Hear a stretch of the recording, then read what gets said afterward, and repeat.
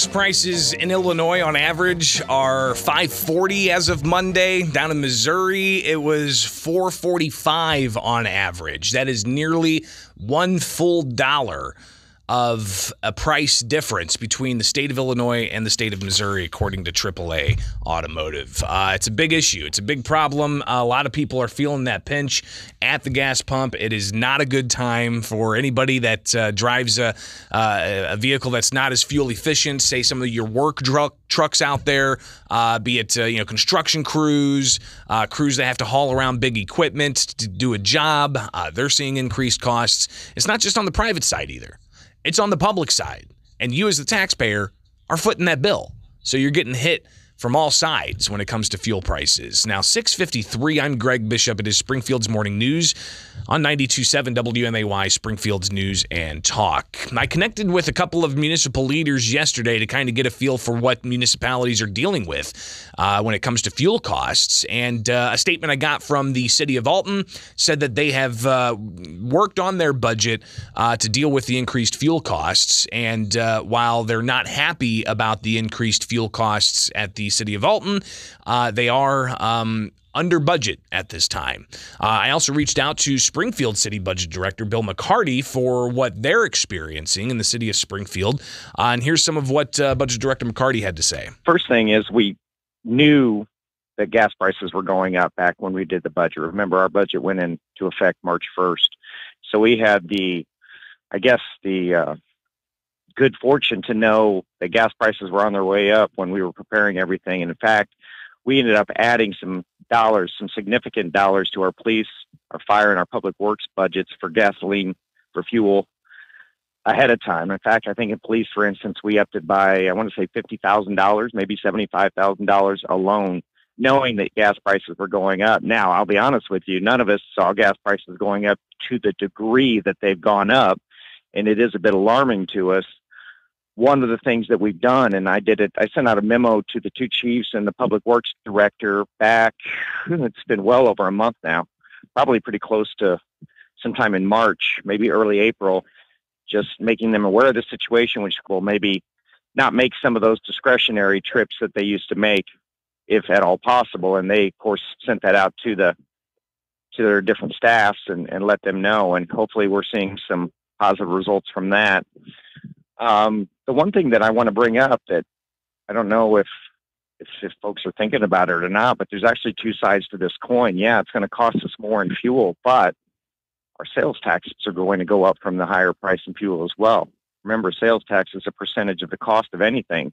So as gas prices go up, the taxes being paid on that are going to go up as well, which will offset some of the added fuel expense for our city vehicles.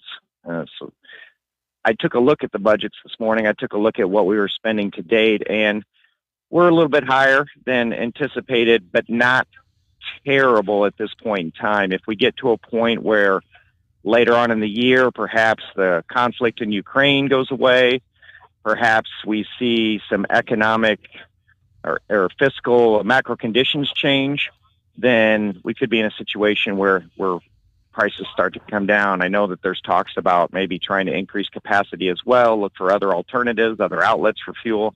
If those kinds of things can happen and we see that come down, I think we're going to be all right in the city of Springfield. So again, that's uh, Budget Director Bill McCarty talking about the fuel prices and how uh, taxpayers are being hit by uh, them having to fill up.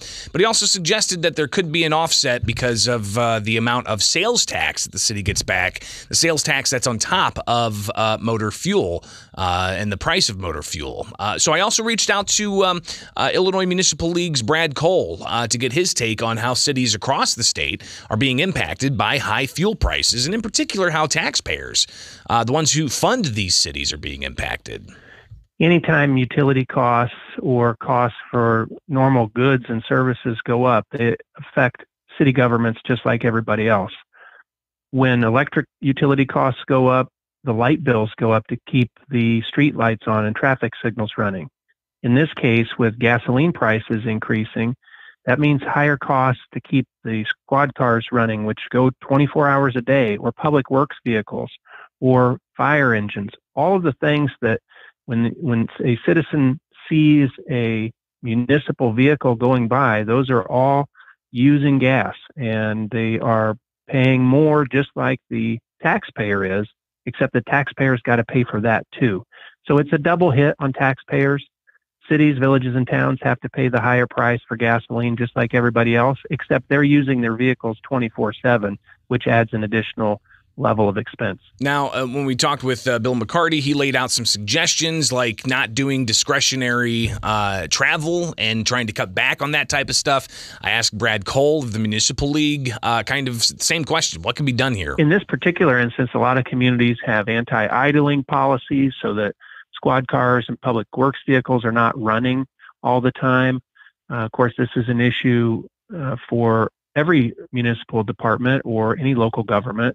So uh, anywhere from cutting the grass on city property and using gasoline in the lawnmowers to uh, public works or public safety vehicles, the users city employees and city management just have to make sure they're doing it efficiently, but they still have to provide the service. And that service includes fire protection, uh, police protection. Uh, you got to imagine a whole host of other things. Public works, being able to fill potholes and whatnot, all of that costs fuel, uh, and the taxpayers are footing that bill. Uh, but what about uh, the suggestion uh, McCarty had about possible offsetting of the high price by the influx of sales tax dollars that come to cities from the sales taxes on top of the gas? Gas tax. Uh, the the the ratio may not be one to one. Here's uh, Brad Cole responding to that. Well, not really. I mean, there are additional costs that are being paid by municipalities for the services they have to provide. There's additional costs that are being paid by the taxpayers. Um, it's not a one for one. And anytime these inflationary increases are applied, somebody's got to pay more. Uh, but in this case, everybody has to pay more. So no municipality is happy right now because gas prices are so high that they're going to get more out of tax revenue on those gas pumps.